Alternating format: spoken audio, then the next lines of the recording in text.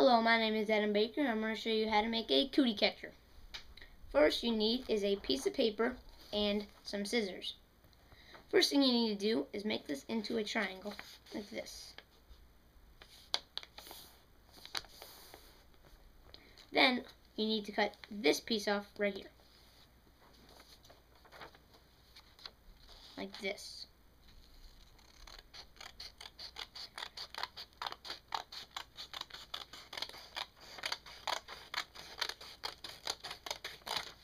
Like that.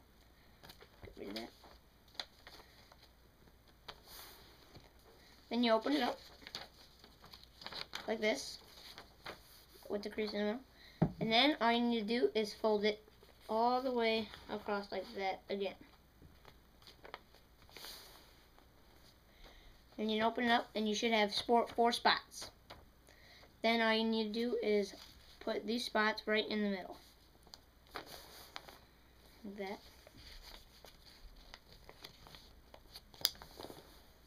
Like that.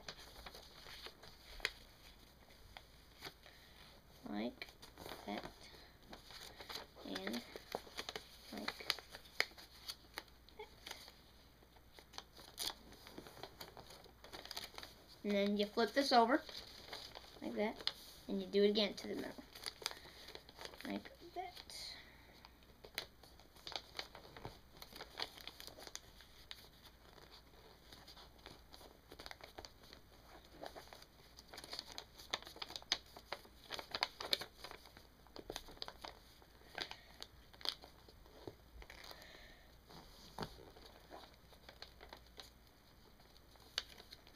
and then the last one, and like that.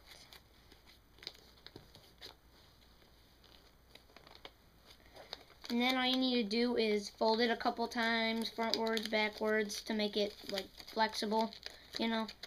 Put it like that. Up, down, sideways.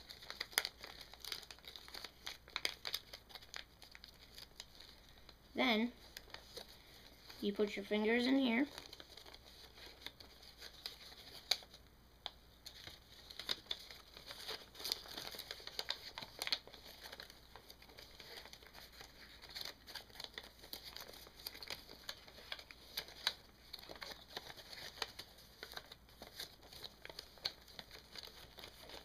And that is your cootie catcher.